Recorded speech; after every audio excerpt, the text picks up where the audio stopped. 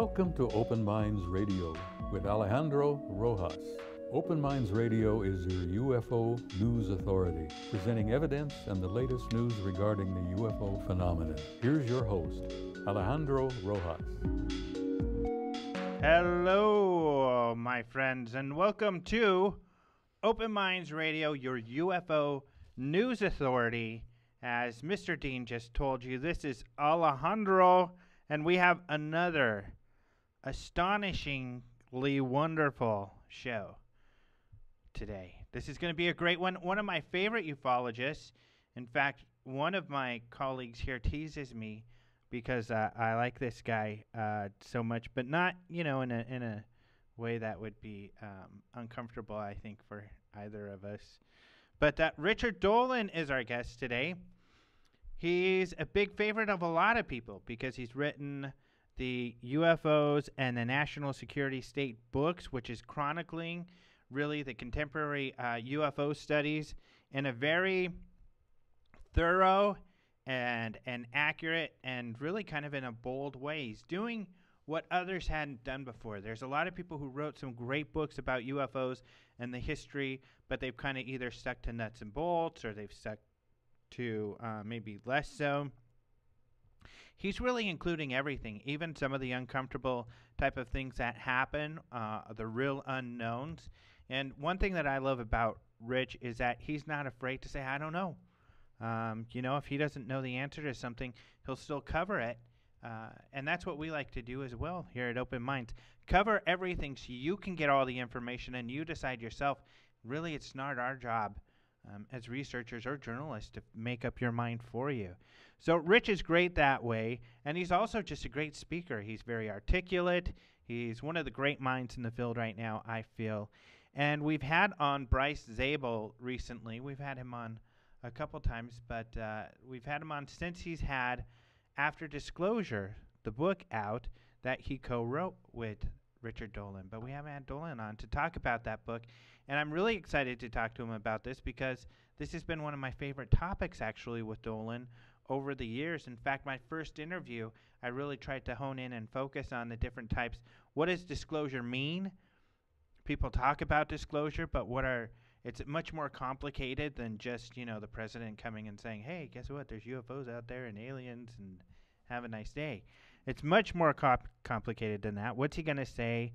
Uh, what are the effects? How should we feel? And as UFO researchers, you know, what, or believers, you know, or people who have looked into this, what should we be aware of? I mean, are we going to believe what they tell us? Uh, somebody said it, I think, in our chat last week. Uh, do you do you take the word of a pathological liar? So if they tell us something, are they going to tell us the truth? There's a lot to think about, and that's what they tackle with this book, and they do a great job with it. So we're going to talk to Richard about that. We're going to talk to him about the upcoming UFO Congress and the third national security state book. Is his last one went up into the 90s, and he's got to finish it off and bring it up into modern times, and that's what he's working on now. So we'll find out when he's going to get that done. So we've got a lot to talk about with Mr. Mr. Richard Dolan, and it's going to be a lot of fun when we get him on the air. It always is. But a little bit of open minds news. First, about the UFO Congress, it's doing spectacular. We've actually sold out the second hotel, and we've gotten a third, and that's the Holiday Inn. So if you haven't booked your room, Call the Holiday Inn. They'll have some special pricing for you there. And in fact, we're going to have a special guest next week. Maureen Ellsbury is going to be on to answer some questions about the UFO Congress and how that's been going. If you've called in to register, she is a person that you've talked to, and uh, hopefully she treated you very nicely. She probably did. If not, you know, send us an email and we'll make sure and put that in her personnel file and scold her for that. No, she's great, and I'm sure you've all had a wonderful experience dealing with her, as people usually do. So the Congress, this is gonna, this is so exciting because really, I think it's going to be the biggest. I am saying this. I'm going on the record right now that it might be the biggest conference in the United States in on this matter uh, ever because it's going to be huge. Usually the Congress gets a, a little bigger each year, and uh, it's getting bigger this year. We were worried about the economy and everything, but and a couple of uh, conferences unfortunately didn't happen because of the economy and everything. But uh, things are going so well. We're having an overwhelming response, and we're the host hotel. We're going to be taking over every single room there, and uh, now we're going to be taking over the rest of this little town. So it's very, very exciting, and we've got a great lineup. So it's going to be a lot of fun, and we're very excited to meet a lot of you all. So that's going great. Remember the Holiday Inn, and you can get more information by uh, going to the website openminds.tv or ufocongress.com. Also, I did want to say a couple thank yous too. We were on uh, the Mastery and Mystery radio show for KKNY Seattle this weekend with the host Gary Mance. He's great. He was a lot of fun. He had us on for about 15 minutes to talk about the Congress, and then he had uh, Stanton Friedman uh, on with uh, Kathleen Marden and I listened to most of that interview. He was a great host, a really good interviewer. Uh, comes up with a lot of really interesting stuff, and, and he's a lot of fun. So that was a great show, and we're looking forward to meeting them at the Congress. They're going to come out and do a live show. And I also wanted to say thank you to some friends in Tucson Rick Keefe, who hosts uh, the Cosmic Chronicles, and Tom and Kathy and Morello, who produce it. Cosmic Chronicles you may have in your hometown, in your public access. This is a public access show on the paranormal. They send this throughout the country, and uh, so check your public access to see if you have it. Um, so we were on that show, myself and Antonio, talking about a lot of different uh, UFO subjects, and they're going to send that to us in a week. And we, they said we could put it up on our YouTube, so we'll do that for free for everybody to watch. So that was a lot of fun, and I wanted to thank those guys. And then on February 5th, I'm going to be on Eye in the Sky with um, Dee Andrews. Uh, she's a lot. Lee Andrews. She's a lot of fun. And no, it's Dee. Dee Andrews. and uh, she's a really neat lady, and uh, she'll be doing some interviews at the Congress as well. So that is everything to look forward to in the near future.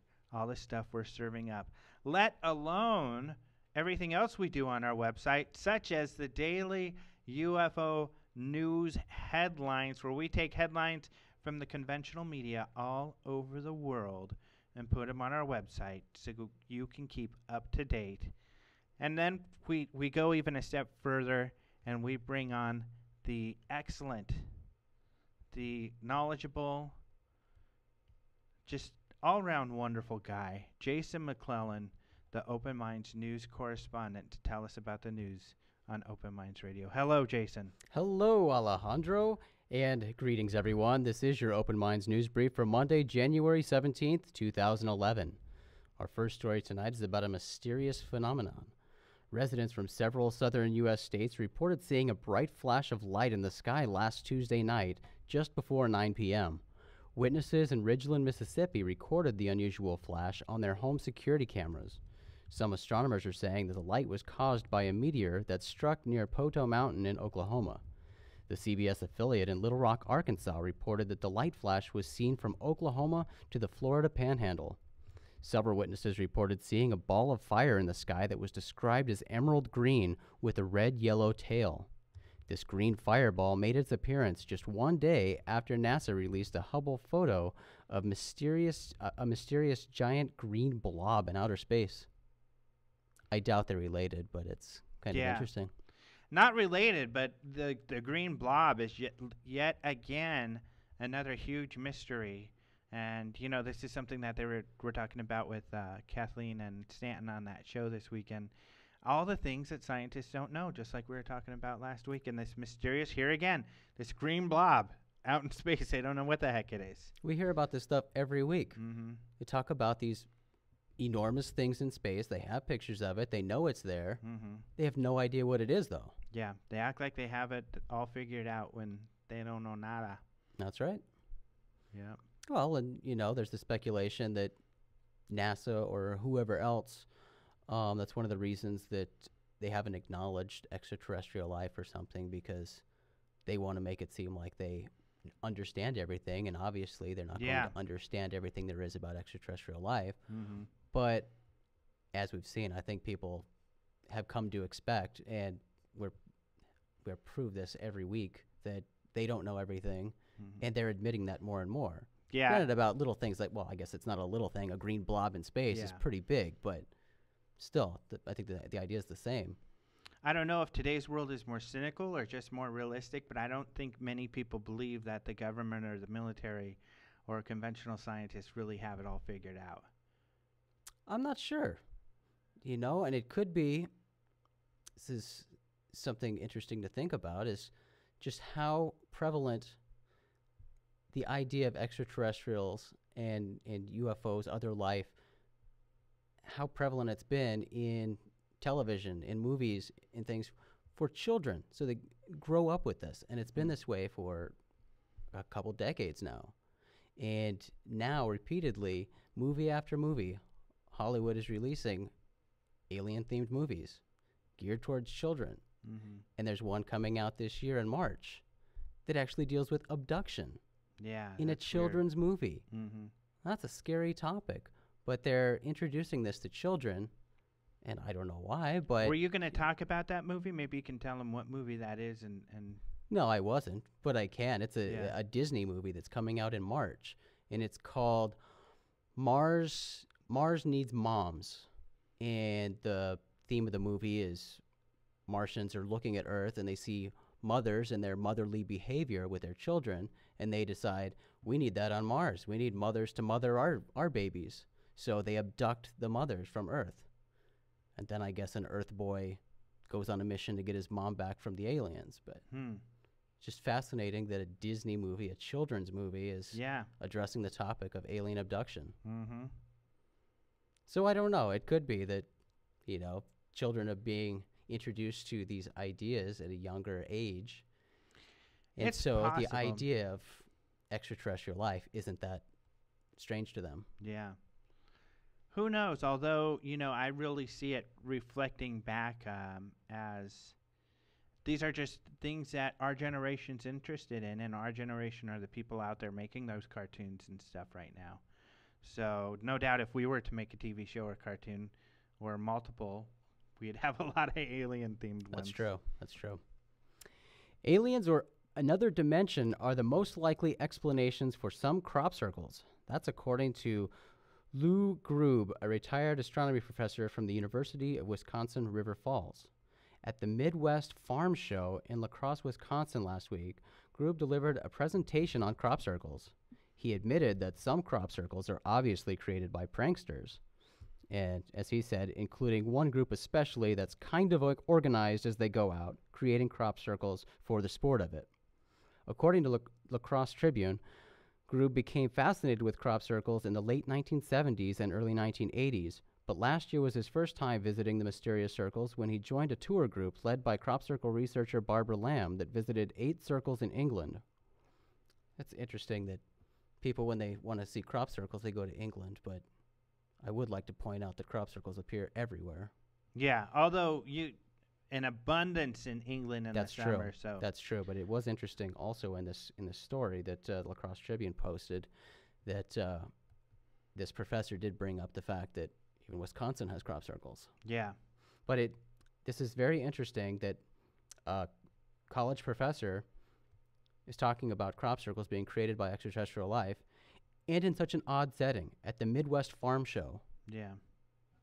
Pretty cool. I mean, I think, you know, it goes back to what we were just talking about.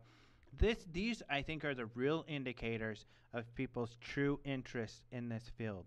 Maybe conventional uh, media and science doesn't pick on up on it so much, but you can really see how much interest there is when these websites, uh, you know, whenever a news person puts up a story about UFOs, um, stuff like that, how they get really popular. Ancient Aliens is a huge show on History Channel. Um, whenever they post news stories, especially like Leslie Kean or the more credible ones with military people, they become really popular on websites. I think that shows that you know just how much the interest is.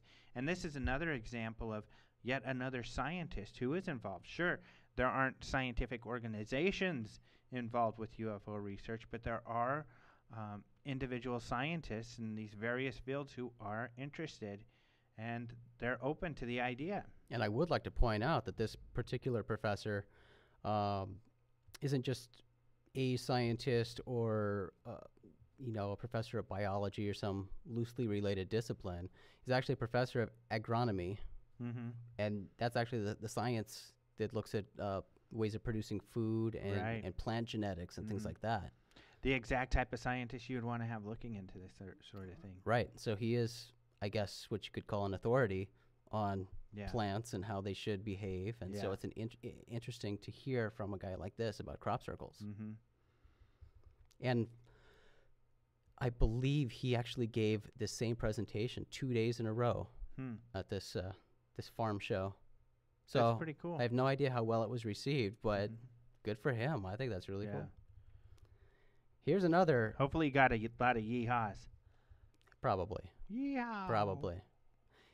On a related story, a major business forum hosted by the Saudi Arabian General Investment Authority will feature a panel session that discusses extraterrestrial life. This is another example of an odd placement for uh, talking Yeah. about ET. But the name of the forum is the Global the Global Competitiveness Forum, and it takes place next week. But why would an international business forum feature a session, session about aliens? The title of the extraterrestrial themed panel session is Contact Learning from Outer Space. And here's how it is described on the event's website Psychological and sociocultural assumptions and preconceptions constrain us to a large extent and shape our views of the universe so that we are inclined to find what we are looking for and fail to see what we are not. Using knowledge gained from research in the fields of ufology and the search for extraterrestrial life, what might we possibly learn about hindrances to innovation in other areas of inquiry? UFO expert Stanton Friedman will be one of the speakers at this panel session, and that's not surprising, given the topic of reverse engineering and alien re- reverse engineering alien technology is likely to be discussed, an issue that would obviously affect economic competitiveness. And other featured speakers at the extraterrestrial panel will be astrophysicist Dr. Michio Kaku and Nick Pope, who formerly ran the British government's UFO project. It's- so extremely exciting. And then Jacques Vallée is there, He is. but he uh, isn't on the alien panel. He's just uh, he's a businessman.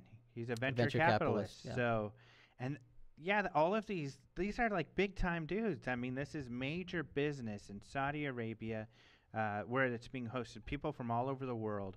I mean, talk about the money that all these people have, and they're they're have being briefed on UFOs. It looked like at the website they had an interest in technology.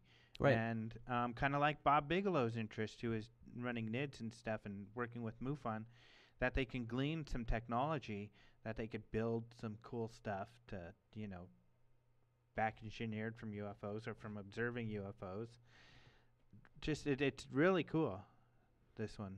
And like you said, I mean, this is a major conference. Major business people from around the globe are going to be there. Mm-hmm. Britain's former prime minister, Tony Blair, is going to be there as one of the key speakers. Yeah. And this conference has major companies s- as their sponsors. I mean, w- any company, you could pull their name out of a hat and they're probably a sponsor to this thing. Mhm. They've got tons of sponsors, major companies, and they have a panel about extraterrestrial life. Yeah, pretty cool. And you know, for this conference, you can't just go there. I mean, these are usually closed conferences where you have to be part of some organization. They probably have this tremendous annual fee that you have to pay because these are, you know, the real movers and shakers and high rollers in the world finance and business. Um, it's very interesting that they would have it. Maybe these, of course, if you put under the conspiracy cap, you know, why do these insiders need to have this information? But maybe these aren't insiders. Maybe these are high rollers who don't have their their the um, ear or the the connections with the, the government people or whoever is in charge of you know ET back engineering or anything like that. But they want to get in and they want to get their own in. And this is how you do it. If you're a businessman, you know, you don't say you don't take it. You don't sit down and say, you know, if people don't let you in, you get in however you got to do it. And this is a great way to do it. Talk to some experts. Talk to a nuclear physicist. Talk to the leading cosmologist, or at least uh, publicly with Michio Kaku. Talk to Nick Pope, who worked for the Ministry of Defense, looking at UFOs. It'll be interesting to see how much and if at all the media covers this event Mm-hmm. and brings up the fact that they had an extraterrestrial panel. Yeah. When is this March? I believe it's isn't it just next month? Oh, is it? Yeah, it's very soon. It might be later this month actually. Oh, cool. Yeah. The reason I ask is because, uh, of course, with the Congress coming up, Stanton Friedman and Nick Pope will be at the Congress. We'll be able to ask them about how that went. Right. Korea seems to have its own version of the television series, The X Files. The show, entitled Special Investigation Report, is set in the 17th century and follows two UFO investigators during the Joseon dynasty. There are parallels to The X Files, including the backgrounds and personalities of the lead characters. There is apparently even a smoking man character in the show. And the stories in the show are apparently loosely based on historical records of strange things that happened during that time. Mm-hmm. Korean TV. I used to watch the Asian channel. Some people probably have that. And during the day, they have like Asian shows, and they love that ba- that period of time, like the 17th century and stuff like that. Uh, so lots of shows with the cool costumes and everything. But this is great. This is funny. It even has UFOs. I saw a clip of the trailer, and it's X Files from the 17th century in Korea. And you know, it's one of these old villages, and this UFO flying over. Looks interesting. And the show's on a major channel. It's on the like number one entertainment channel in Korea. Yeah. Well, X Files was good. Yeah. Just taking that and putting a spin on it. Well, and like much of the world, Koreans seem to have an interest in the topic of UFOs and aliens. Just last, uh, this past Saturday, a weekly investigative program that airs in Korea called We Want to Know ran an episode entitled Are UFOs Coming to Earth? Where they analyzed UFO related files released by various governments. Mm-hmm. In particular, the uh, New Zealand ones that were recently released and the British files. Yep. Yeah, I saw that. th- covered by the Korean Herald, I think. Correct. Pretty cool. Yeah. A recent article on space.com pointed out that some scientists are still interested in the moon, even if NASA and others have turned their sights elsewhere. The article points out that there are still many pressing unanswered scientific questions about our nearest space neighbor. The Apollo astronauts only made brief visits to six places on the moon, and all those were near the equator. And since our last visit to the moon, satellites have discovered evidence of water reserves and other places of interest on the moon. And you and I were just talking about this recently, and it's something that's always bothered me and bothered many people how we just sort of gave up on the moon and said, ah, been there, done that. Let's go somewhere else. But we haven't been somewhere else, and we still know very little about the moon. Yeah. Well, and I was reading some of that because of this big debate. Um, I think there was another story about that where, you know, other countries are talking about going into space and possibly going into the moon. Japan might be going to the moon. Russia's thinking about it. And they think this might spark another space race to the moon. But uh, you know, Buzz Aldrin had some comments, and I can see that the where they're kind of in trouble. They they've got a limited budget and then a limited amount of resources.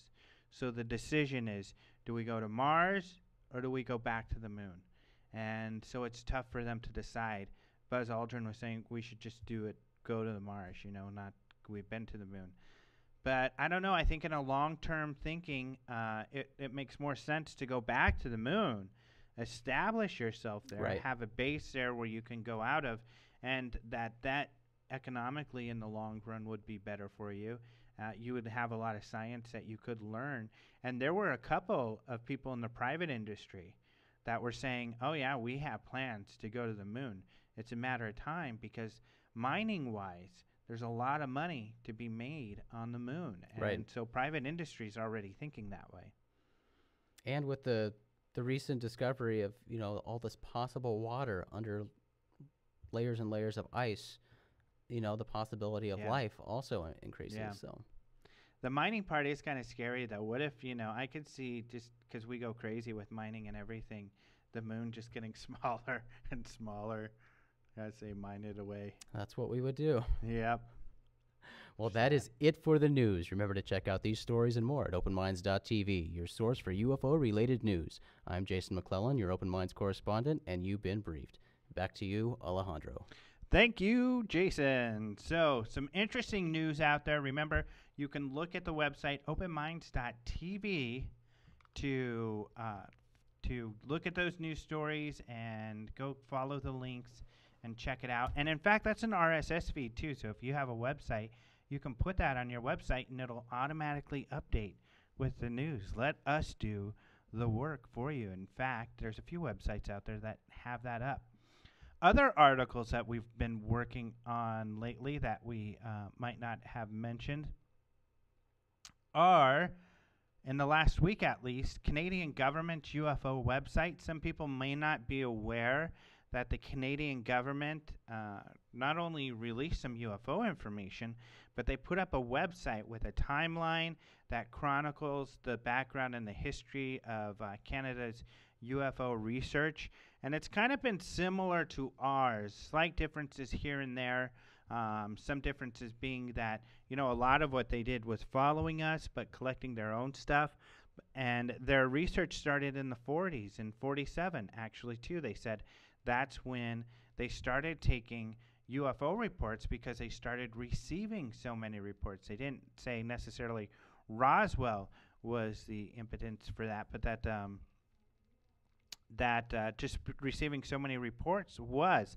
Their Canadian uh, Mounted Police started taking reports, as well as their Department of National Defense. Then in the 50s, they actually started an organized group to take and to categorize and to research those files. Um, over time, they released those files. And then some of you are probably familiar with Wilbert Smith. The website doesn't go into great detail about Wilbert Smith, a little bit, but this was a gentleman who worked for the Department of Transportation who started a project called Project Magnet. Uh, interesting enough, he started this project because of electromagnetics, and he thought, well, there's probably a way that we could use the Earth's electromagnetic field to create a sort of propulsion. Um, so we could create craft that works off the Earth's electromagnetic field. He also then saw that UFOs work very much in the same way, and he believed there was a correlation. So that's why UFOs were such a big part of his project. Um, they don't specifically talk about what some of what he found, but he found some incredible um, things from the government. In fact, he found that the U.S. was really a big uh, was into UFOs, and it was a big secret for them. But you can get like n- minutes from these meetings that these guys had. Very interesting discussions with uh, Wilbert Smith talking about how UFOs could be extraterrestrial and making those arguments. Others, such as some of you have heard of the Avro Company, uh, famous Canadian company that uh, started building airplanes early on, but uh, more famous in the UFO field because they built saucer shaped UFOs that were actually used ducted fans, and uh, they didn't really work very well. But uh, these were the Avro. But it was a representative from Avro was part of this to talk about how some of these UFOs could be Russian and to argue why he believed they could be man made technology. Even more interesting, though, I think, was uh, in the later 50s when uh, NORAD was put together, uh, the North American Aerospace um, something radar, some North American Aerospace Command. That's what they're called. And essentially, what NORAD was was was Canada and uh, the Air Force getting together in order to watch for nukes coming from Russia. And when they joined forces, uh, they started to collect information and channel that information through NORAD on unknowns that were seen. And it's really interesting that there's a poster out there, and this is an official poster. And actually, another one of the things that you can see on the Canadian uh, UFO website, uh, on this poster, they have a section that talks about what you need to report. They have pictures of planes and missiles talking about anything that's hostile or unidentified. And they actually have a little image that says unidentified flying objects. And this image is like a little rocket and a saucer, a flying saucer in this image. So this was something that went out to the military where they were telling people, hey, if you see one of these little saucer things, uh, make sure and let us know. And here's how you package that report.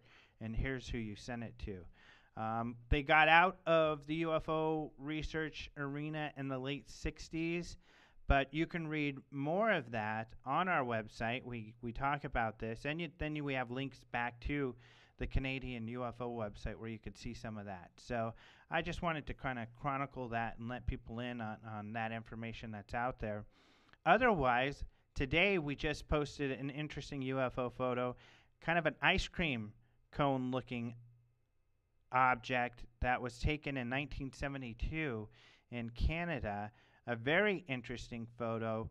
Uh, this is from the Wendell Stevens archives, so you can also read the little write up that uh, Wendell Stevens had uh, talking about this object and some drawings that they made of the object so you can see what it looked like in more detail.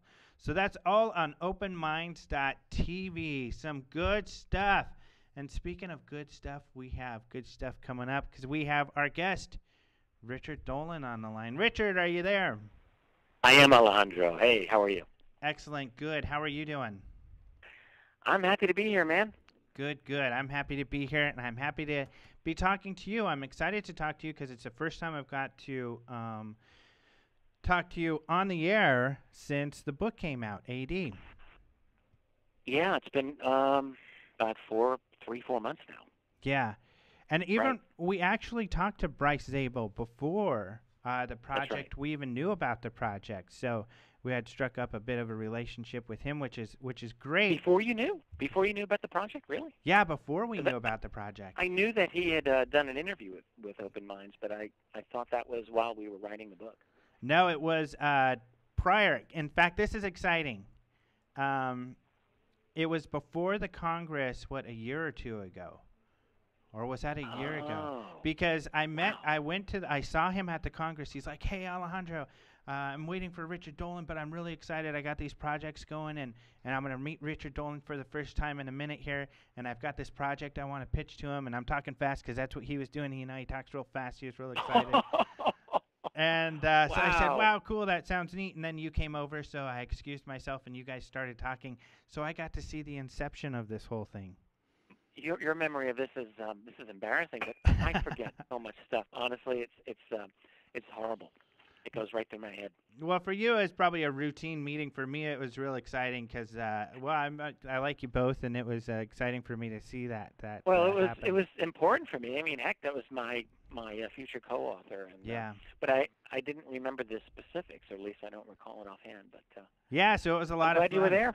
Yeah, me too. Definitely. Yeah. Yeah. Another reason I was excited about disclosure and you guys getting into this, and you in particular, is because I don't know if you remember this moment.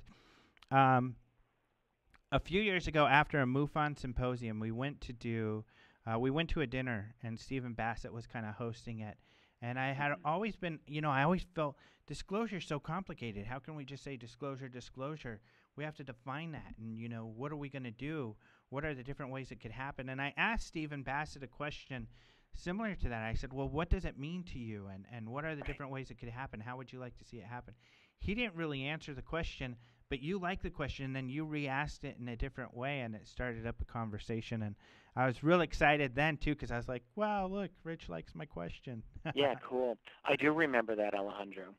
And uh, it's funny, you know, disclosure was one of these things that I, I never really thought that I would be getting into the specifics of it, even when I started researching UFOs, dealing with the cover-up uh, with an implicit understanding that if there's a reality to this phenomenon and if there's a cover-up, then it's really logical to ask yourself, well, one day this cover-up might end, but what might that look like? But that was really never how I, I chose to operate. But over the years, I've just moved further and further into that field. And even long before I met Bryce and before we started talking about this project, um, Mhm. when I look back now over, because I've got all of my old PowerPoints and my old lectures, and I can see in retrospect that I've been exploring this topic for a good solid 10 years, uh, trying to find a way um, to formulate the issues and to to try to see that future.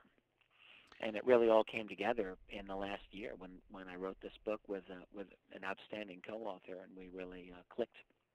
Yeah, I think it's an important conversation and one that wasn't being had, and that's why, you know, later on, I think even at that same symposium that uh, or congress that you met Bryce at, I interviewed you about disclosure because I really felt that out of uh, all of the people who I had interviewed or talked to, that you had the most to say and you had um, thoughtfully, um, you know, gone over at least some of these ideas. Um, and that's why I was really excited to, about the book, and that's why I think the book is so important because it is something that those of us who talk about disclosure, disclosure, disclosure, and all those in the exopolitics um, type of arena really need to, I think we need to be uh, more proactive and think about all of these things very hard going into this. Well, you know, uh, year after year of UFO secrecy, it, it takes us time, I think, to, to move ahead to the next level of awareness. I mean, th- think back to the 1950s and 60s when this was a brand new phenomenon, and it was uh, enough work, really, at that time for researchers simply to uh, get their minds wrapped around the idea that there might be another intelligence here, and um, and it, I think it takes time to, to think through the the mm-hmm. full implications of of a reality, and that includes disclosure. So for many years, the real battle that UFO uh, researchers had when they even bothered with this was to just try to get the truth out. The truth is what we need. The truth. The truth. We know we're being lied to. We need the truth. But um, really, when you think about you know, we, we've gone through the disclosure era really through the 1990s when there was significant disclosure movements, and um, we've gotten to a point, I think, as a as a research community where we are finally able to ask what what might disclosure actually look like mm-hmm. in reality, not in fantasy, not as a, a utopian, you know, paradise perfection where I think we all kind of have had this idea in the back of our mind. Oh yeah, once the truth is known, then all of these wonderful things will happen. But really, when you start looking at our society and looking at the structure of secrecy and the the possible nature of these other beings, um, it may not all be this wonderful ride. It, it could be great. It could be terrifying. Mm-hmm. Um, it could be like a lot of other things in human history that are very much a mixed bag. And yeah, one of the my, Bryce, yeah. Go ahead. Well, we just tried to think it through. Um, I think you, in, in your review of our book, used a phrase that I, I really thought was uh, one that really struck home with me. You said this is uh, done like a think tank, and that's really how how we wanted to do it. We we didn't want to just um, create this some wonderful fantasy. We wanted to research the problem and think it through, as a think tank might do it. You know, how will disclosure affect our society? Right, which I think is an important conversation for for um, our field to have. Uh, these are important conversations for us to go through. And, uh, you know, what, like you said, the different faces that disclosure could have, and maybe they're not all utopian and happy. One of my favorite, I think probably the first time I heard you talk, you started it off with, you know, could disclosure be difficult? Um, will all hell break loose? Will people be running around crazy in the street? And uh, could there be economic problems or collapse. That could all happen, but if it if that's what is going to happen, it has to happen because the truth has to come out. Yeah. Well, I, I agree with you uh, uh, very much so. If I have a faith in any one thing, I guess it would have to be a faith in the in the value of truth. Uh, what else can one have faith in, really? Um, ultimately, as difficult as the truth might be, um, if we as a as a society are going to become anything better than what we are currently, how can we do it among falsehoods? We have to deal with the world as it is. We have to understand truth, and it's only the truth that will allow us to um, go uh, to to deal with the problems. If if disclosure brings uh, brings us to an awareness of a great problem, uh, then it's better to know that problem, it seems to me, so that we can then deal with it and, and become what we need to be, rather mm-hmm. than live as, as children in a fantasy world. Kind of can, yeah. taking it step by step and um, getting into the into disclosure. I guess the first one of the first areas that you you guys tackle is uh, this idea of what does the government even know? And I think it brings up the question of, you know, if we have uh, some of these organizations that are kind of banging at the door of the White House. Is that the best place to bang at the door? And could the people behind the door saying, "Look, buddy, I don't know nothing," you know, you Well, yeah, I mean, yes and no. It is.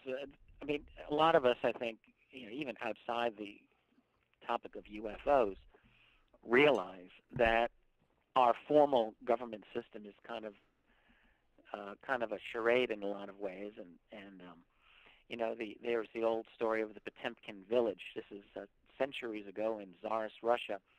Uh, Catherine the Great was the, in charge of the country, and it was misery everywhere. And her minister of the interior, I believe, or her prime minister, was a, man named Potemkin. And whenever the the empress would go on a on a um, a visit of the local villages, they would literally put up these. They would dress it up to make it look like it was much nicer than it was, to hide the misery and poverty that actually was there, so that the empress on her bo- boat would look out and see these wonderful-looking villages. They were called Potemkin villages, and um, why the heck? Why the heck did I say that? Well, because who, you know, because we don't, um, we don't want a world of Potemkin villages. I mean, Mhm. what we oh, and our government is something like a Potemkin village, I guess, when we uh, really think about what's the actual power behind the government. Um, so, in a, in a sense, though, I feel that we, we still want to to treat our government as as legitimate because this is the system how it's how it's supposed to as it is supposed to function. It's not um, you know if we're going to have a, an actual Republican Democratic system of government, we want to we want to work with that system and give it a revitalization of power. On the other hand, we all kind of know that it, it doesn't function like that. Why the hell did I talk about Potemkin villages? Interesting, but really kind of off topic. Sorry, but here's the point. Hey, it's great. I love history and well, and the idea of this facade. Yeah, and but the thing is, um, there, you know, one of the points in AD after disclosure is, is that there is there's another power behind the formal structure. Mhm. Um, whether it's how you know how do we characterize this? This has been a real difficulty, but there's a it's a quasi government, quasi private, black budget oriented group of, of people. Uh, I've characterized them in, in other writings as a breakaway civilization or a breakaway group. Whatever they are, they're they're vastly uh, they're behind and above the structure of power as it exists, and uh, they're the power brokers. But but nonetheless, the, the president and the formal structures, the United Nations, and so on, they're they're going to be uh, the spokespeople for for disclosure, most likely, and and their power is still not completely nil. Uh, one of the points of AD is that there is an opportunity in disclosure for the president and other national leaders to uh, attempt to take back power in the name of the people from these uh, classified power brokers. Uh, I'm not saying that I think that it'll, happen. I think it probably won't happen, but I do think that as an ideal, it's an ideal that should be stated, and there is an opportunity here. Mhm. Uh, the president can make a decision and say that at this point, when we make disclosure, we, when we're forced into the situation of having to tell the world that this is a reality, um, you know, there's going to be a lot of angry people at the classified world, and the president will have to make a decision. Who do I side with? Do I side with the, the power brokers who put me into power, or do I take a chance and side with the people and maybe ride that? Yeah. And I think it's possible. Uh, there are always extraordinary people who arise to certain, uh, who can rise to the occasion. Sometimes people can become extraordinary given the uh, circumstance. And I would at least like to leave it out as a hope that a president at the moment of disclosure will say that, um, you know, we're not just going to play the, the game that the CIA and the NSA and the rest of the classified world has dictated us to play, but we're going to have a policy of openness and, and let people know what they need to know. Yeah.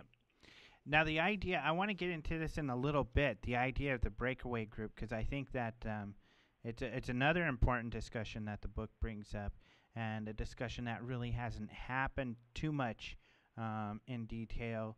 But um, on disclosure, of course, you get into the different ideas of some of the things that might um, motivate uh, the government to Right. disclose. And I was wondering if you could talk about some of those motivations. Yeah, absolutely. Um, you know, for many years I've thought of disclosure as a great paradox, something that's impossible and something that's inevitable. I've always felt it's impossible simply because there's really no motivation. Once you've had a secret for 60 years, how on earth would you want, why would you ever want to, do, to reveal uh, the truth? To admit that you've been part of a, an institution that has lied uh, for generations sure you could be the one who decides to say you know i'm breaking with that tradition. But but really it's it's very difficult once you've been brought into a lie to uh, then to then throw it out the window. But disclosure will happen it, and it must happen. And simply the reason is that time does not stand still. The world is is changing so rapidly. Now you know the world has been changing for the past 50 more and more years, and, and there has not been disclosure. True, but that doesn't mean that it it'll continue this way for another 50 years. I think uh, when we look at future technological developments, that there's a very very strong likelihood that we as a society will have the ability to ferret out and share this information with each other. I just sit around and ask myself, well, at what point between now and say 100 years from now uh, are we going to find out the truth of disclosure? I mean, look, in 100 years, we'll not only have computers that are as smart as we are, but they'll probably be smarter. Uh, we will be smarter. We'll probably have all types of biological and technological enhancements. We're just not going to be even remotely identifiable as the same civilization 100 years from now that we are today. And so, at what point between now and then will we finally know and understand the truth? And whenever that point is, it's going to come. And I think it could be 20 years from now, it could be less, it could be more. Uh, what will cause it? My guess is that um, there could very, very likely be technological breakthroughs that allow us better communication than we have today. That'll that'll force the issue. For example, um, I think of the uh, development of smartphones in the last five, six years, combined with the advent of YouTube. Both of these technologies are about five years old. YouTube was invented in 2005, I believe. It's six years ago. Smartphones, roughly the same time. And think about the, how the combination of those two are transforming our world right now. And we're just at the beginning of that. There are going to be continued improvements in those technologies and probably new technologies that will come online that are going to allow ordinary people to confirm, I believe, the reality of UFO phenomenon once and for all. And somehow that's going to happen. It could be a, a more advanced version of uh, what smartphones can accomplish, maybe not simply taking photographs, but tracking, um, using a smartphone to uh, set up a, a series of uh, geomagnetic uh, tracking stations. I have a friend who's actually working on this right now. In other words, adapting iPhones to track magnetic anomalies. Wow. Um, yeah, yeah. I mean, so now whether that and then have them have the anomalies uh, fed into like a central processing station, so that you can track magnetic anomalies that, that may, you know, go across a region or, or beyond. I don't know if that particular example will succeed, but that's that's one example of probably many that can that will come up over the next few years that people will be thinking of as a way to gain, you know, new insight into how to track this phenomenon. I think at some point it's going to happen. Uh, there's always Mhm. something new and unexpected that comes up.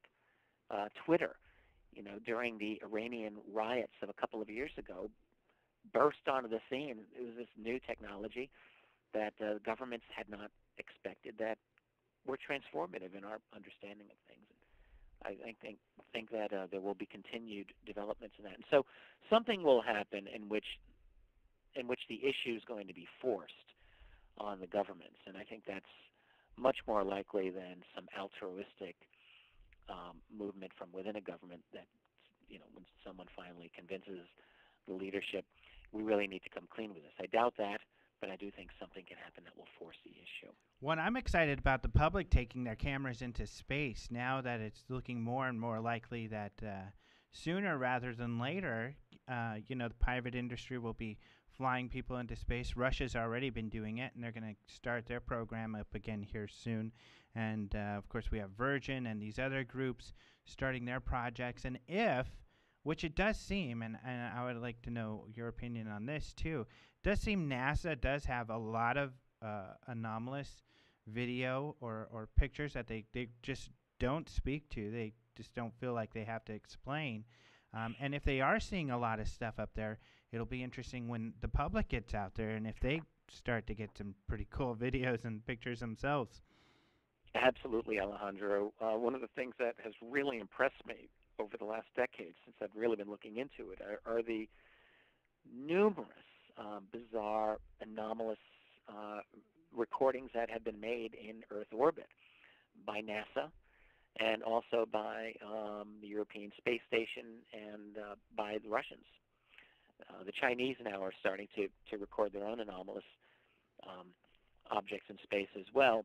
Uh, on my website, Keyhole Publishing, I, I don't mean just to, to shamelessly hawk it, but I people Hey, that's really what these know. shows are for. Well, uh, on on keyholepublishing.com, I've I've uh, kept alive the website of the late Jeff Challender. Jeff was a researcher who lived in Sacramento. Uh, he died in 2007, and, and what he had done is he collected an enormous amount of uh, video footage from NASA and from other agencies, studied them. Uh, he did this almost full time in his home, found countless numbers of bizarre, unexplained things that happened in space during various missions, and then put them on his website.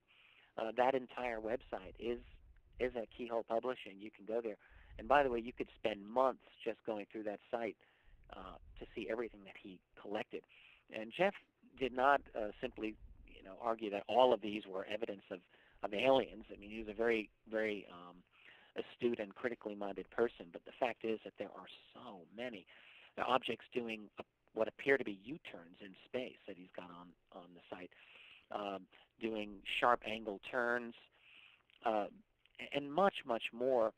That all were recorded with NASA cameras, and that NASA simply has ignored. But these are genuine recordings, and uh, certainly some of them you might be able to explain as um, crystallized urine ejected from the space shuttle, or Uh-huh. what have you, whatever the NASA engineers might might say. But uh, some of these are very very bizarre indeed, and uh, it does seem to me that that um, whether whether these objects are ours or not ours, it's extremely important. Uh, if they're ours, then, then it's proof that we do have a secret very deeply secret component to our space program. Um, and if they're not ours, well, that's proof that there's a non-human um, intelligence or an, an intelligence not from our civilization that's got its own space program. Uh, both of which I think are true, incidentally. hmm Now, So uh, yeah, we're in a we're in a very very um, bizarre world, and when that secret comes out, that's just going to be one of many um, thermonuclear explosions, basically, right. that rip our consciousness. Well, and I think what what seems uh, very positive, especially about you know some of the news we were talking about. Of course, you know, so we just mentioned one possible way of disclosure, or many, um, with the technologies advancing. But it also seems, and you being hi- an historian, it would be kind of. I wonder what the leadership would do if we kind of had a, a reemergence of serious UFO research like we did in the 50s. Um, in the news, we just talked about how at this farming convention, one of the, sci- the, the, the scientists there in agriculture was talking about crop circles and how he thinks some of them could be extraterrestrial. We have this major business forum. I don't know if you heard of this in Saudi In, in Arabia. the fifties? In the fifties? No, this happened just recently, the farming one. Yeah. Okay. But Sorry. uh, and uh, just uh, we're ha- there's a major business forum happening in Saudi Arabia that uh, they decided to have a ET UFO component of it, and they're having Michio Kaku, who's very open and talks a lot about UFOs and how we have to take this seriously. They're going to have Stanton Friedman, they're going to have Nick Pope, Jacques Vallée is part of this group. Um, but I, I brought up the 50s because the 50s was a period of time where you had scientists and, and serious scientific journals. Uh, you had NICAP with military people all talking about UFOs, and it was taken more seriously back then, it seems. Um, well, what happened is that the, uh, the the culture of ridicule had not fully right. um, entrenched itself. The uh, control over the scientific community had not been fully fully established. Uh, it took really by the end of the 60s, I think that that control was more or less complete. Really, with the advent of the Condon Committee report by the University of Colorado, which was you know finalized in 1969. So, what happens if we're able to shed um, that uh, ridicule factor and uh, well what's happened is Mhm. that um, because of the internet the old structures of power have, have really received a challenge um, if you when i look at the history because i just i've written now two volumes of history dealing with the ufo reality and cover up uh, these volumes have taken me up to the end of 1991 which was really just at the very beginning of the internet era, um, and be really before the World Wide Web existed still. Um, what happened, if you look at the world, say, uh, circa 1985, uh, when there really was no internet, the uh, control over the UFO topic in terms of public relations was absolutely was at its its peak. Um, there were no major networks that were taking the topic seriously at all. Uh, the academic world was certainly not. In other words, UFOs were successfully relegated, uh, you know, beyond the pale, as it were. Now, there was always public interest in it, but the public really had no way of of openly expressing that interest. There just was no avenue. There were a couple of UFO journals uh, that were done with no money, uh, basically, they had no circulation, and, and that was that. And then came the internet. And one of the, the fascinating things that I, I uh, tracked in Volume 2 of UFOs and the National Security State was how the internet threw the old game book right out the window because UFOs, right from the get-go, were one of the key drivers of internet traffic from the 1980s onward. This has always been true. It's a, it's a fascinating uh, and true fact.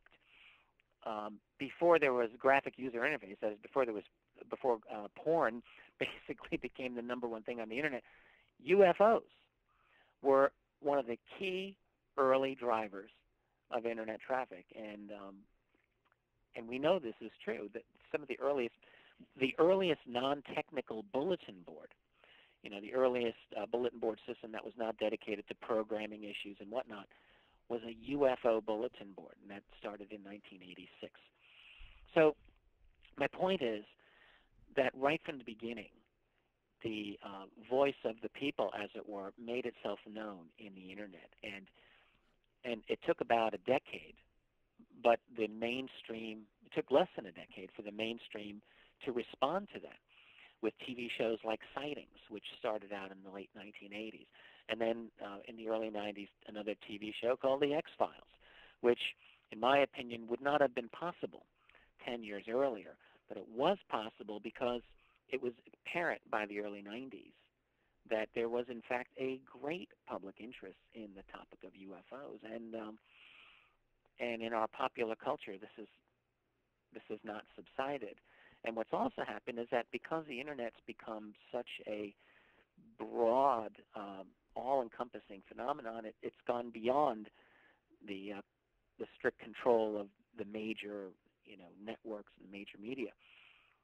Certainly, major media is is very powerful in the internet, but there's a lot of there's a lot else in the internet. There's this radio show, which is on the internet. There are lots of voices out there, and so my point is that we are going to be able to see, and we are seeing a resurgence in uh, serious treatment of, of ufology um, because it's something that, that the people really do want. Um, I, well, of course, the public desire is one thing. What is now necessary is for serious, good, capable researchers to go out there and to show the world how it needs to be done. Uh, there are a few good people out there doing very good work. There are, unfortunately, a, a lot of very irresponsible researchers out there doing really poor work that, that does not re- reflect well on what we're trying to do. Uh, there is no shortage of people making these absurd, ridiculous, embarrassing predictions, um, or you know, drawing uh, conclusions based on you know little to no evidence. Mm-hmm. Um, and these things, unfortunately, do get play in the media. But Yeah. but there is a serious element to ufology, and what is needed is for for people to uh, step up, have some courage, go out there and and do their best to um, present this the way it deserves to be presented. Yeah, I think there was, you know, like you mentioned, and, and reading your books and following that trend, um, I often go back to some of those old uh, ARPANET and, like you talked about, the early internet. Um, when people started talking about UFOs, because at that point, some a lot of scientists also seemed to kind of come out of the closet and be talking on these bulletin boards, and you see it, saw some credentialed people um, that were interested in UFOs. It seems there was an evolution where you got an abundance of these people, like you talked about, more irresponsible researchers, but uh, and so you saw kind of people going back into the to their closets. But I think now, hopefully, we'll uh, we do see, and we'll continue to see more people coming out and feeling more comfortable to talk about um, their interests. Well, I think so. I mean, first of all, the the world of academia is itself going through very significant changes uh, financially. I, I really see the, the global academic community is uh, is primed for a market correction, in the sense that uh, these universities are pricing themselves so astronomically out of um, Mm-hmm. out of any kind of sensible market. There's something's going to be changing, I think, in the American academic world within the next decade or so. I just don't see any way around it. We've got a combination of serious economic hardship in this country. We've got universities that cost more than uh, most uh, low mid-range houses. Right. Uh, it's it's just not possible for people to buy. On top of that, in in the world of the internet, it it's it is really possible for people to gain a, uh, a realistically a technical education that is not far removed from what you can get in a university classroom, and in many cases better. So that realistically, the university world itself is going to have to go through. The only thing that the universities have going for them right now is simply social status mm-hmm. uh, and they milk that. Of course, it's it's it's social networking thing. You go to college, you meet people, um, you get that degree, and that's proof that you've attained the status. But that's only going to go so far in a world that's that's going through such dramatic changes as our own. Another 10, 20 years, I think the university world itself is going to be radically different, and that will have some kind of effect, I'm sure, on many, many, many uh, other things in our society, and I think it'll affect the UFO question as well. I mean, right now, the university world is is so uh, rigidly Mm-hmm. uh, opposed to discussing UFOs as a reality. But I don't I don't know how that's going to pan out in another 10, 20 years. I think there could be big changes. Yeah, well, I, there is this. Well, it gets difficult, of course, when uh, with everything being so um, profit driven. Uh, even cancer research gets often gets uh, put on the kind of the back burner if it's not something that is profitable. Um, and unfortunately, of course, UFOs is not seen by many. Bigelow is someone different. Uh, some of these business guys, but not seen as something that could bring in a profit. Um, Almost a decade ago, I wrote an article that I'm still proud of called um, "Science, um, Science and Ufology." I believe it's on my website. If you go to Keyhole Publishing, you go through um, articles by me. It's one of the earliest ones, I think, from 2001 or 2002. And my, my point was that there's no, I mean, what science is. We we have we have a very idealistic view often of science. Uh, at least I grew up with one, which was this idea of science being uh, this detached search for truth. Use a scientific method to find things out. But of course, what science is is an industry. Uh, you can't do science without a lot of money. It requires funding from sources. And in our world, um, in the United States, most of those sources are government. Um, most university departments must rely on government funding to do their research. And so what they really do is bidding for some powerful player. Now, if you uh, go on the realization that the UFO topic is one that is classified within the United States government system, then clearly it's very easy to see that there's not going to be any public funding for the UFO topic uh, as long as UFOs are not allowed to be discussed in the public venue because of national security concerns. And so that any research on the UFO topic is going to take place secretly in the classified world. I, I came to that conclusion back in 2001. And there's really, you know, I don't see any reason to change that conclusion. So in the university world, there is there, there is never going to be under the current system an open research um, program that's that's genuinely and honestly going to try to get to the bottom of the UFO topic because there's no funding for it. There won't be funding for it because it's not part of the national security priorities for this topic to, to get out into the open. In fact, quite the contrary. That kind of is a good segue into talking about the the idea uh, of the breakaway group, which I think is um, interesting in that uh, I agree that um, there could be this group of people who are essentially in the know and uh, if this is a group of people who know about um, the things that have been hidden from us for the general population for decades, they have to have their own sort of culture or a different right. certain lifestyle uh, and perspective than the rest of us and what these people might be like. Right. Well, I, I have some ideas on this, and I'll be the first person to admit that even though uh, I sort of formulated this idea a couple of years ago in, in volume two of, of my history and then really expanded on it in, in AD after disclosure. I'm still, I'll be the first to admit that I don't have proof that this exists. What I have is is a theory.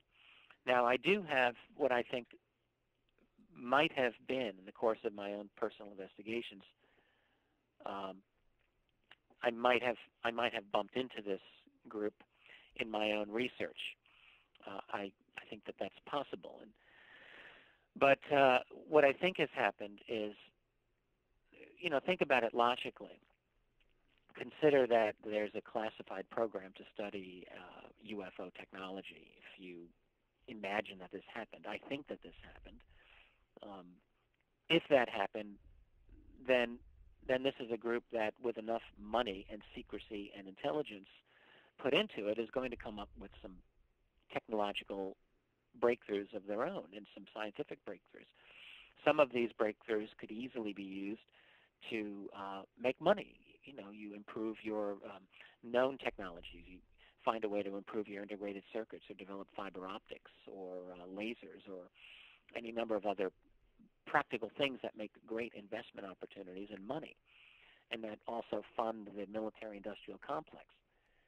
It's also possible that you come up with developments that are literally too good to be shared with that world. For example, if you developed a true form of anti-gravity, a true form of what is known as field propulsion, you might not be able to share that with the world because, frankly, it would imply the reliance on maybe an alternate source of power, something that's not uh, petroleum. I mean, if you've got a non-petroleum-based uh, source of power here, then then it could very easily be decided that this must not be shared because it would threaten the um, petroleum-dominated infrastructure of planet Earth. and uh, that this would threaten too many established, um, you know, power players. And so what would happen? It's not that you would stop studying anti-gravity; you would just take it deeply classified, and you would employ that technology for the highly classified reality of the presence of extraterrestrials, and it would only be used for that. It would not be used for the um, for the ordinary human infrastructure of you know fighting wars in Iraq or Afghanistan or elsewhere. You wouldn't use it for that. Um, rather, you would use it for more deeply or uh, deeply classified projects, like perhaps going off world and dealing with these non-terrestrials. I think this has happened. Uh, this is at least my, my theory. And if that's the case, if you've got this group that is employing radically advanced technology, um, which quite logically could, could enable breakthroughs uh, into yet other things that we can't even imagine, mm-hmm. then not only do they have a different, much more advanced level of technology, but they've also developed probably insights into the reality, into reality itself that we don't have if, for example, they're dealing with some of these non-humans at least occasionally, they would have a very different cosmology. So in a lot of ways, I think it would be a different civilization, and I call it a breakaway civilization since they've broken away from our own. But that doesn't mean that they live uh, 24/7 uh, um, in this other world. I, I don't think that that's probably how it works. I think that they live in this classified world for weeks or months at a time, but that they have families, They've got mothers and fathers. They've got sisters and brothers and cousins, and they they do deal uh, with the world that you know you and I live in, but they they live in both worlds, as it were. Uh, they have uh, just like any kind of military person who's dealt with some very uh, difficult um, to assimilate classified information. They just can't share it with uh, their family. I think the same is true with these with these individuals, mm-hmm. uh, except that it's even more extreme. Things that they know are even more more difficult to share. Uh, I do think that there's probably a high percentage of them who get uh, really psychologically damaged uh, before the end of their careers. Uh, it very well might be that they are considered security risks upon retirement and either uh, either forced to live in some kind of um, isolated situation or they're just damaged goods by the time that they're um, they're ready to come out. I think that that actually is very possible. Hmm. I, I had a conversation years ago uh, with a lady who worked in the U.S. military. She was a did classified missions back in the 70s and 80s, and I don't really know what those missions were, but I do know what her debriefing was in 1982 out of Okinawa. She described it to me. She said that it was through three phases uh, for debriefing. Phase one was just ordinary counseling, as she called it, where she would sit across the desk from a debriefing officer, and it would be a kind of a, let's get your story straight session. You know, you didn't do this, you did this. This is what you're going to tell the world you did. You mm-hmm. didn't, uh, you weren't involved in assassinations of these people. You were involved in this other thing. Stage two uh, was when she was forced to take sodium pentothal and be subjected to, as she called it, hostile interrogation, whatever that meant. I'm sure it wasn't fun. Uh, then there was a third stage, and of course, the whole point of stage two was to find out if she were tortured, what she would, what she would reveal. Right. Uh, stage three was more severe still, in which she was taken to a room with uh, men in civilian clothing and uh, forced to wear this metallic helmet attached with wires by wires to this machine, and they somehow scrambled her head up. Now, this was uh, a story that I got in the 1990s, before my first book even came out. And, um, you know, talking with this lady, she was a very intelligent person, but there was something that wasn't right. Uh, I'd ask her questions, and, and there would be this extra delay of a few seconds before she would answer. There was something that was that had happened to her, and I think that what she told me was true. So my point is this: that was I don't think she was part of uh, majestic, you know, black ops breakaway civilization. But I asked myself after I met with her, how widespread is this in our military? Maybe mm-hmm. more widespread than we think. And and so when you're dealing with heavily classified operations that are that literally would be explosive uh, if they were to be known in the world, I've got to think that these people get really messed up before they get um, discharged into the world because they're too much of a security risk. Yeah, you know it it it really reminds me of uh, for some reason, uh, hopefully I can clarify the the connection. Um, when Tony Blair got in trouble for presenting an American student's paper uh, to the government on a, an outline of Iraq and its um, military capabilities and things like that. And to me, it would make sense that the reason that was done is when you've got so many lies out there, um, and you've got so many se- or secrets, you can't have one of your guys write it because he's got so many secrets and, and things he's got to be careful of. It's like you know walking on eggshells. That uh, when it would be much easier to take someone from the public, who's only been given information to the public, uh, to write a report because that way it's already sanitized. Um, it's Mhm. almost like that. There's this world of secrets that these people live in, uh, where it's it's. I, I often think of how would they keep things straight, you know? Good question. Well, Blair Blair is absolutely uh, very much read into everything. Uh, he's been on the inside, uh, groomed for success uh, for a very very long time since he was identified as as really uh, going to be one of the spokesmen of uh, for for the ruling elite, and that's what he's always been ever since. mm-hmm. That's all he's ever been, and that's all he ever will be. All due respect to, respect to Mr. Blair, that's what he is, and that's his job. Uh, so I don't think anything these people do is by accident. They uh, it's all intentional. Mm-hmm. Um, so yeah, I think it's a very good point. Yeah, it also reminds me of like presidential papers and the Rand Corporation, you know, with all these think tanks. Um, which actually alludes me to a question to you. Uh, what if then one of these breakaway groups came to you and said, you know, we would like you to be part of a think tank for us, but because you're going to be read into so many secrets, um, you're not going to be able to write for the public or your information's not going to be able to be public facing anymore. What would you say to that? Oh God, I've never been approached in that regard. um, well, I've been approached by by people and groups who have wanted me to sign non-disclosure agreements of various types. Mhm. I've declined them actually. Yeah. Um, so so far, I've been able to to keep myself to myself. Um, you know, in uh, the history of ufology, there was an example back in the 1970s and 80s of a researcher who was who was seduced in exactly this way, Mm-hmm. and that was William Moore. Right. Uh, Moore, during the late 70s and through most of the 80s, was the the darling of ufology. He was the go-to guy, and and um, he's sort of forgotten by a lot of the younger people in the field. But Mm-hmm. he was the bomb, and and Moore than sort of uh, disgraced himself among ufologists by admitting that in fact he had been working, uh, collaborating with the intelligence community, uh, feeding some uh, questionable information to um, to the rest of the research community, while trying to uh, to get inside information from the intel community. And um, for myself, no, I, I really can say pretty confidently that I would never uh, I would never agree to withhold my information from from the public. I mean, what I am at this point is a guy who writes for the public. Um, I have a pretty good idea of of what's going down, and so I don't really think that they're going to tell me something that's going to completely rock my world at this point.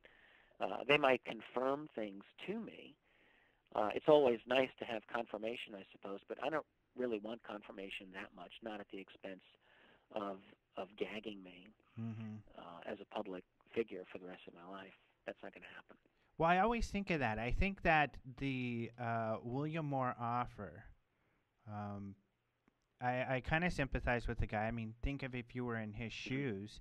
And uh, I've asked this question of other people, and some would take the deal he took. You know, Right. I, d- I think he was um, kind of taken himself. You know, I don't think they were honest with him.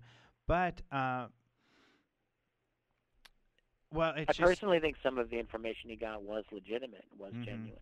There's a lot of there's a backlash against Moore these days, and you get people in the research field to say the whole thing was, uh, you know, a work up by the intelligence community, and the whole thing was BS. I don't buy that. I don't think that was true at all. There are a number of documents that Moore received that um, that I do think were legitimate, um, and even some that were supposedly tampered with. There's one that's the so-called Aquarius document, just uh, tampered with in the most insignificant way, as far as we can tell, changing NSA to NASA on this one particular document. It's the only change that anyone's aware of. Um, so, in other words, I think Moore did actually get some some pieces of information that were valid. Um, and yeah, I mean, it is. I have sympathy for him, absolutely. When when you uh, think that you've got an opportunity to kind of work your way, navigate your way through the inside. Um, but I, I think, I mean, I like to think that I know what my my limits are and what um, what I wouldn't do, and what I don't ever want to put myself in the position of doing is uh, engaging in deception in mm-hmm. any way with, with the public. Never. Yeah, unfortunately, I also am curious about some people, um, and I think it may have happened that Moore possibly wasn't the only person um, who's been approached um, like this and who took the offer. And there could be people right now uh, who we know of who are un- working under some sort of deal like this. I believe that that's absolutely true, mm-hmm. and um, uh, anyone who thinks about this is going to develop their own suspicions about who's who, and you know it's it's unfortunate because you don't want to be suspicious of uh, of colleagues and people that you consider your friends. Um, I suspect that there are a number of, of such people that I've come to know and come to really like. But uh, the thing is, I try to, to separate uh, personal relationships from professional assessments. And one of the real difficulties I'm going to be having as I uh, continue to work through Volume 3 of UFOs in the National Security State is uh, dealing with that because a lot of the people I'll be writing about are people that I'm, I'm uh, close to. Mm-hmm. And maintaining objectivity is, uh, is, is tricky. It's difficult. Uh, we're in a field that's very, very argumentative with itself. Uh, people instinctively take sides on all kinds of issues, and uh, I have no doubt that when that third volume is done, it's going to be covering the last 20 years of UFO research. Um, I have no doubt that there'll be people who'll be very angry with me mm-hmm. over what I've decided to, um, you know, where I've decided to lay my judgment down. Speaking of the 3rd volume, I'm not sure where that'll end up. yeah, it's always difficult. I think the best that uh, a lot of the very professional people, and I think a lot of the people um, you know understand what you're trying to do. You're being objective, and that's fair. And um, because that's what I s- try to stick to is what we're trying to do here. Um, yeah, but no one wants the objectivity to to work against them. Exactly, which is unfortunate, but it's just that's what where it gets sticky. Um, where I know you struggle, and and people struggle when people want you to come down on one side or the other when you when you can't. Um, and telling the truth. Well, my my defense is uh, one. I, I've learned. I've had to learn how to be slow, not fast, in coming to conclusions. Yeah, it's really important. Uh, we we live in an era where we're tempted to to come down immediately. Right. On you know every new um, every new controversy that arises in our field, and it's like every week there's some new thing, and and the temptation is always there mm-hmm. for us in our own minds to lay that gavel down and to and to just know. And, and the fact is knowing the truth sometimes takes years. Right. And even then it's incomplete. And and um uh you know you never want to weasel out of out of uh, something that's important but you also don't want to make a premature conclusion because you then yep. once you do that you're stuck with it I mentioned it earlier in the show uh, as well, and it's always something I really appreciate about your work is that um, you're not afraid to live in that gray area where it seems like, unfortunately, it's a big problem with conventional scientists. They want to have the answer now. You know, dark matter is one that I bring up. You know, astronomers uh, say, "Oh, dark matters are out there," and the public gets the idea that this is something that's real, but it isn't. It's something that astronomers actually argue over, and there's no proof, and they're still trying to decide what that is. There's a lot of gray areas, but in conventional science as well as ufology, a lot of people want to be on the black and the white and make their determination, and you got to be somewhat bold to be willing to stay in the gray and Well- say, I don't know. Uh, yeah, thanks. I, um, I think I, I'm not trying to uh, to brag overly much here, but I'm I'm a very um, I'm very secure in myself as a person. Um, um, my mother always joked with me. She said, "Richard, if you only had a little bit of self-confidence, you could really go places." but I've always, I remember being five and six and ten years old as this little kid, um, always with a very strong sense of who I was. I've, it's it's a blessing, to be honest with you. Um, I've been lucky with that, and what that's allowed me to do is I, I don't really feel a need. Um, I don't have an insecurity that forces me into having to come down and make a decision every single time. I'm comfortable enough with myself, truthfully, that I can live with uncertainty. And in fact, um, one of my very favorite books is a, is a Zen Buddhist book called Comfortable with Uncertainty. It's by a, a, a, a Buddhist nun uh, named Pema Chodron. It's, um, it's a book everyone should read, to be honest with you. Mhm. Uh, Comfortable with Uncertainty. It's about not having to to uh, live a life that's got, you know, absolutely made in in uh, cement convictions that uh, never can be changed because the fact is that our world is fluid and um, and we're fluid and and our knowledge is always imperfect. So uh, being a fanatic about anything is usually a bad idea. Right. Well, we're almost out of time, and what a great note to end on. I did want to ask, when is the third book coming out? Well, that's a good question. Um, I've been saying for a couple of years I think it will be out by the uh, well by the end of 2012. I think that that's that's actually still possible. And, Great. Um, for a little while, I was ki- I was kicking around the idea of doing a revision of Volume One before I went back to Volume Three, Hmm. but um, Don't do that. because the fact is, I did I finished that first volume almost a decade ago, and and there's been Wow. so much new research uh, that I really do feel ultimately I would like to incorporate into that book. But um, honestly, I'm having issues with with the publisher of that book, Ah, and um, I don't. I'm just uh, rather than work out a deal uh, with them and have to get past a whole bunch of legal issues. Um, I'm just going to go and, and do volume three, and and I think that's probably what more people would be interested in anyway. yep, I can't wait for it. And I know there's Yeah, many, got, many uh, you people know, that feel that way. the, the, the third volume, I think, um, I think will be at least within within our field of ufology. It it should get a fair amount of attention. Everyone's going to be mentioned in it. Everyone who's anyone in UFO research will probably be mentioned in it, and they'll want to read it if for nothing else than to see what Dolan has to say about them. right. Uh, but but what I want to do is to be fair and and not really even to focus on the people, uh, it, but rather to focus on the phenomenon itself and Great. to focus on policy. well, we've got to um, go. We are yeah. out of time. Thank Wow. you so much. I know it flies by. Uh, it really does. for yeah. being on the show. Keyhole Publishing, Keyhole Publishing, not Keyhole. KeyholePublishing.com looking is through the website.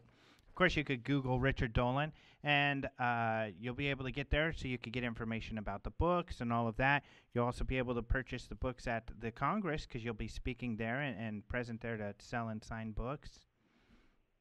Oh yes, absolutely. So that's going to be a lot of fun. It looks Looking like we're going to have a huge crowd too. I mean, the response is Really? great. Yeah, we've sold out. If you haven't heard, now two hotels. We've got a third hotel. So t- send people to the Holiday Inn if uh, Oh people are asking for space. So we're taking over this posh town outside of Scottsdale. It's going to be a lot of Nice. fun. That's that's that's fabulous news. Yep. So thank you Really so much for being on the show. Thank you very much, Alejandro. It's always a pleasure, man. Pleasure is all ours. Thank you. Have a great night. You too. So we are out of time, ladies and gentlemen. Thanks for listening to the show tonight. Next week, our guest is Jeff Willis.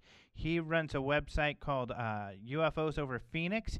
He's been on several television shows, most recently Fact or Faked, where they went and tried to reproduce one of his UFOs and they got their own UFO footage. So we'll talk to him about that and a lot of other cool stuff. Join us next week. Thanks for listening to Open Minds Radio. Don't forget to visit openminds.tv for more UFO news. Talk to you next week.